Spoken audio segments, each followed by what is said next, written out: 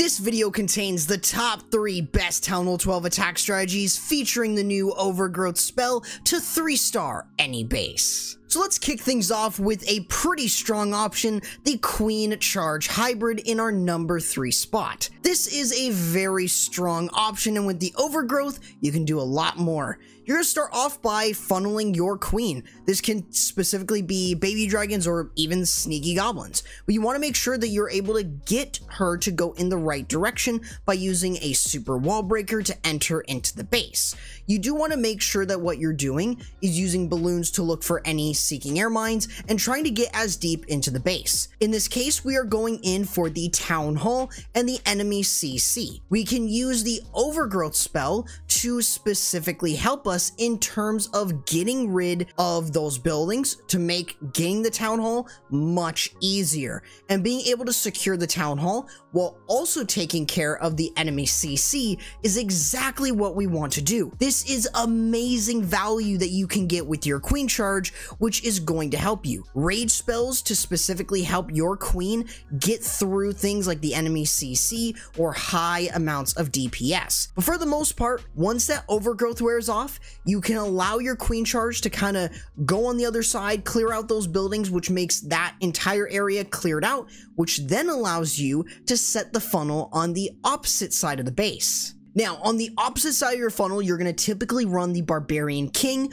with the use of the Siege Barrack. This is really important because this is going to establish enough control for you to send your hybrid in. It's a really simple way to get your hybrid to go in the right direction. In some instances, you don't have to run the Siege Barrack. You can always just use the Barbarian King, but I would always recommend the Siege Barrack and the King as it provides great synergy for your hybrid, and of course, it just allows you to funnel a lot better. And of course, we can then start to send in our hybrid. Now, in a certain situation, we might go in for an Inferno Tower, but in some instances, we will want to try and go in for the Eagle Artillery as soon as possible. This allows us to pretty much not have to worry about the global damage, but also making sure that getting rid of a key defense just as important is our top priority. Using the early heal and early Grand Warden ability around the core of the base, which then allows you to run a back end heal that can be used to get through something like a multi-target inferno, inferno or other splash damage. You just want to make sure that you're able to top off both the miners and the hog riders as you work yourself around. For the most part, you should have enough funneling. Maybe the queen is still alive thanks to the frozen arrow,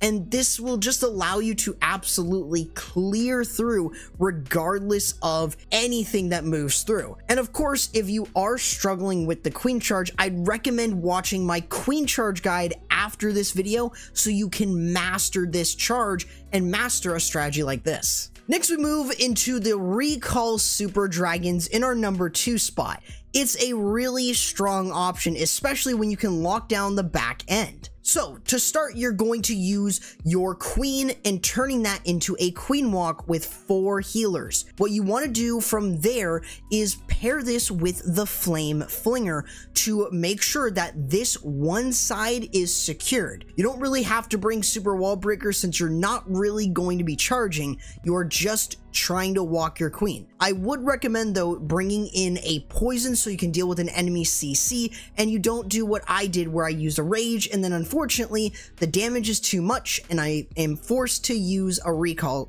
the recall spell, especially to save my healers. So make sure you don't make that mistake, but once you've cleared that and your Flame Flinger is secured, use your Queen on the other side with the fifth healer to be able to move in. With the Barbarian King, you can support your Flame Flinger from being popped, especially if there is a ground expo, so you can basically expand that area and make sure that you have a much better funnel to work in, which will also help with the Queen Walk on the other side, making it much easier for you to then spam in your Super Dragons between them. With your funnel secured, you're going to be able to send in your balloons, super dragons into the base followed with the Grand Warden. In this situation, I would recommend locking down the back end, being the Eagle Artillery with the Overgrowth spell as you go in. A Rage and a Grand Warden ability once that Town Hall falls as you continue to push your way in. As for your free spells, use them over defenses such as air sweepers as they can be annoying, or even air defenses if there are any left over as you're pushing into them. As for the rage spells, try to save them for as much as possible, such as going into the core with the super dragons so they can get some really nice value and just pushing them their way through the base. Other than this, your super dragons will easily be able to work their way through and maybe even having the super dragon from your flame flinger can very much help as well.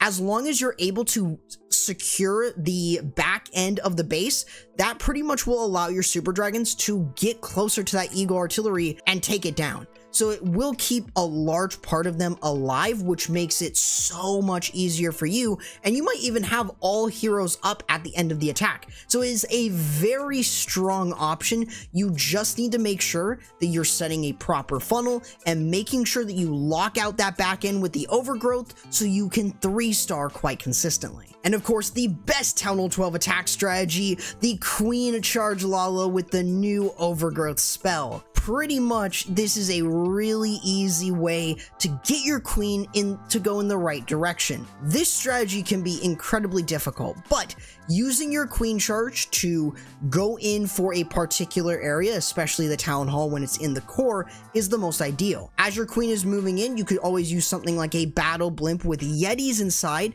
to lure out the CC and also clear out something like the Eagle Artillery. It could get you some pretty massive value while also setting up a very solid funnel. You do want to make sure though that you are getting yourself in so if you do fail with a super wall breakers, you can always try again. So in some situations though, you might not be able to have enough wall breakers to get you into the core. But you do want to make sure that you're cutting the other side of your funnel off for your queen so she can actually go in. So using the Barbarian King is a good choice. The Barbarian King really doesn't have any other reason other than to funnel your queen as long as he doesn't steal your healers. But for the most part, you want to get your queen in. Now this is where I would use the Overgrowth spell to get her to go towards the core of the base. In this situation, it could have been better, but for the most part, this was the main idea, removing the enemy queen and getting rid of the town hall. These are all of my key objectives completely cleared, which means I can now start the Lavaloon in peace. So while your queen is securing the town hall, you can send in your Lavaloon with a lava hound